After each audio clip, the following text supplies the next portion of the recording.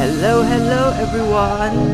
Alright, so in this video, we are going to be talking about how to maintain a Duke 390 for a beginner. So a little bit of a story. um, actually, for me, I started out riding a KTM Duke 200 too. So I am, I can consider myself very familiar with KTM and it's also I'm, I'm glad that I can uh, you know give you a bit of input as a beginner because everyone is, was a beginner before right? So yeah back then I was a beginner. I got my Duke 200 looks good on the outside. Inside was trash. Oh my god that one really make me spend like a lot of money to you know get things right fix a lot of things wear and tear stuff and ah, a lot of things. It was a headache ah. but you know what? But it taught me a lot of a lot of like good lessons you know Oh yeah, by the way, actually I'm also um, going to do my engine oil change today. So, right, might as well I just make this video. So, let's start with the very first thing, which is...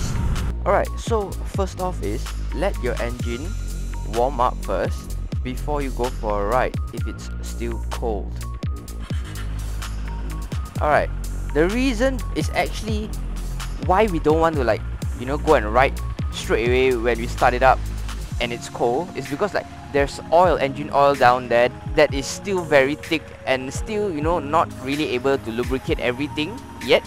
So we warm up the engine let the oil be a little bit thinner so it can um, lubricate everything first and then we go for a ride. That is one way of prolonging your engine life so yes, let it idle for about a few minutes at least. Don't worry, the temperature the temperature um, it goes up quite fast on a Duke 390. So it's been just like less than a minute and it's already at 1 bar. So for me, I prefer to, you know, warm it up until at least 2 bars and only I go for a ride. And then we have the TFT screen, which is not the best quality in the world. Like if you've been following me, um, I've I've actually said it before. Like you know, it has a bit of uh, water condensation in the screen when it's cold, right? So yeah. So how do I maintain this um, TFT? Having experience with a Duke 200, you know, Duke 200, we I don't usually park, you know, under the hot sun, like during heavy rain. If it's avoidable, I'll avoid this kind of uh, parking. So what do I do if I cannot avoid it? If I'm parking like outside, you know, um, I would uh, I would grab a plastic bag just to cover the meter, just to like you know, to hope like it doesn't water doesn't get in. A little bit of water is fine, but like heavy rain or downpour, I just I just couldn't. I, I, I couldn't I couldn't.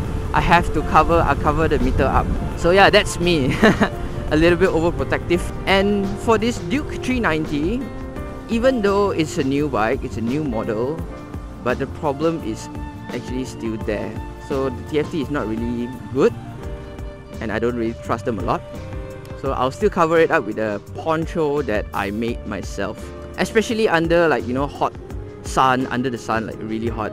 It kind of distorts the, the color, not not the color, not distort, how, how would I put it in the words? Uh, it kind of, yes, so when the TFT gets really hot, it kind of flickers at the left top corner for me, in my case. Yeah, so yeah, I don't like parking under the hot sun too. And if I have no choice, I will cover it up. So number three, is it number three or number four? Number three. Number three. Uh, not really sure if it's considered maintained or not. I think it's considered maintained. Okay, it's the fork itself. So you see the fork, uh, for me, uh, I'm living in Malaysia and we have basically two seasons. It is either hot as hell or it's always raining. So basically there's only two seasons in Malaysia. So during rainy seasons, we get like rain almost every day. Actually, it is every day. And the Duke 390, we have upside down fork. So when it's raining, you know, sand, dirt, and all this, you know, road stuff, debris, when it goes in, like to the fork seal, it could break the seal. The fork oil uh, would actually leak. Yeah, you know, to prevent leaking. So for me, I will just uh, put, you know, like the fork protector. yeah, you know, to prevent leaking, that's what I got. I've been having it like since 2018, I believe. I mean, previously, when I owned the Duke 200, uh, I did put the protection over there also. And 390, this new 390 also, um, I got that fork seal cover lah. So, so far, nothing has happened, no leaking, never had a leak before. I think it helps, yeah. Okay, number four is very very important. Actually, you know what? I'm on the way to OBS, Orange Bike Shop for my engine oil change and let's continue there. Okay, we are here ready for engine oil change. Oh, look at that. Super Duke. Crazy. Oh my god. Wow.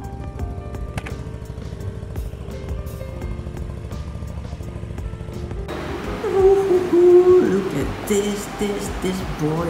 Look at this boy. Poor baby. Poor baby. So it actually survived a crash. look at how much it fucks up crash cage. So yes, it's very important to have a crash cage, crash cage too. Look at this guys.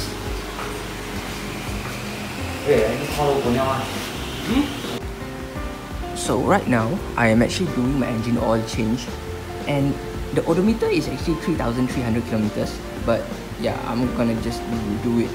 Because engine oil actually oxidizes over time. So yeah, even if um, you are not riding it a lot, you should change it when the time comes lah. So let's just say that if you have a very bad record of like you know maintenance on engine oil what it will affect is for example the coil. I've seen it before uh, that you know coils burn out. It's actually most of the time is because of the engine oil. It's not efficient enough to cool down the coil. So it burns out. And yeah that is where you have to replace a coil. And also like for example the the what do you call that? The block head i think where the you know the rocker arms and all sits. And if the oil is not good already and you're still running it very hard yeah it's gonna damage the top of your engine block. So it is vital. It's very important to change the engine oil in time. I would i usually never go like above 4000 kilometers semi synthetic or fully synthetic i'll just change it at maximum 4000 kilometers Alright, alright. All done with my engine oil change. So this is number 5? I lost count. Anyways, the next thing that uh, you should be maintaining is the water pump seal. And actually it's the whole set lah. I'm not too sure what it's called. The water pump or like the water pump seal. Yeah, it's basically the, the things that get your coolant moving. So based on what my mechanic told me, is every 20,000 we must replace it. But for me, I kinda don't wait for 20,000 kilometers. Um, I would just do it by around 12,000. You know what? I'm a bit of a like an OCD. I I'm a bit overprotective, an overprotective mom to the child. Yeah, so I would do it way before 20,000, like 12,000, just in case you know if there's any leaks happen. Because like once if it like the water pump seal is you know broken and the coolant would eventually leak into the engine oil and then they mix together and then they become like muddy color which is actually is quite harmful.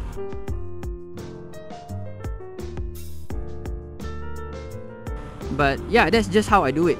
I'm like extra cautious about it because like people say KTM has like a bad reputation for reliability right but for me, uh, based on my experience, not really. Maybe I've been taking good care of my bike. Even since the Duke 200, I didn't really have any issue. Except for uh, the very first time that I, I, I mean like when I bought the bike. And yes, of course it has a lot of problem. But that's not on me. That's on the previous owner. So, yes. After that, I did all my maintenance, um, scheduled maintenance. Everything is on time. Not on time. It's actually earlier even. And nothing ever happened to me before. No reliability problems have happened. So yeah if you're saying that KTM bikes is has a reliability issue I I would argue that. It just depends on how you're gonna take care of it. Okay let's move on to point number six.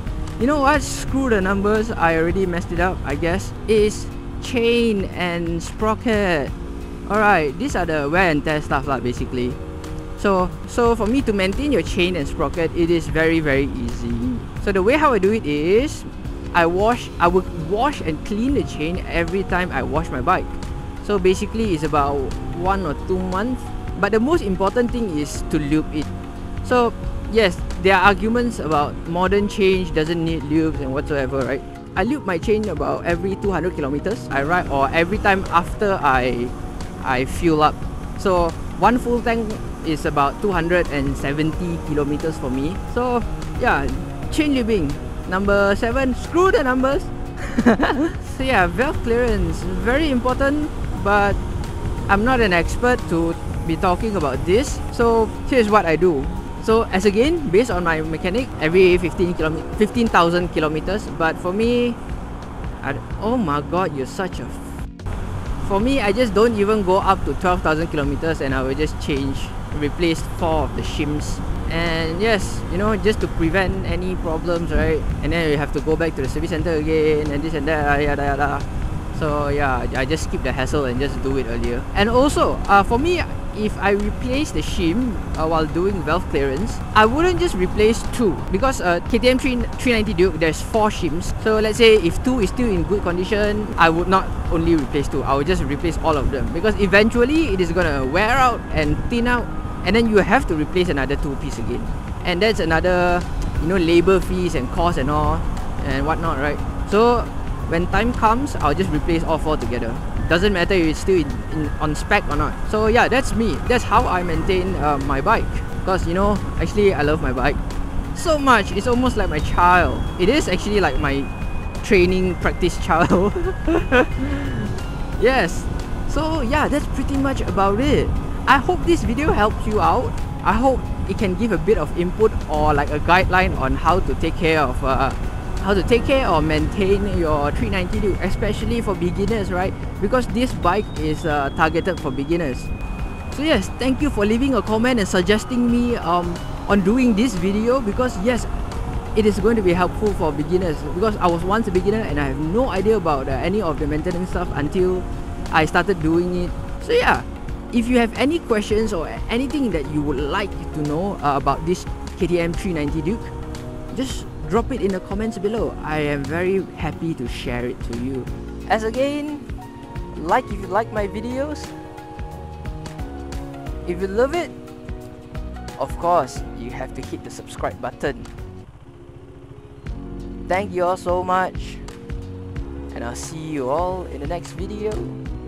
Goodbye. Wait, wait, wait, wait. Also, I want to invite you to follow me on Instagram at Kickstand Up channel. Yes, that's where you can DM me and ask me about anything or opinions or like what's my experience, this and that, right? Before you want to buy a new KTM bike. Okay, that's it. Bye.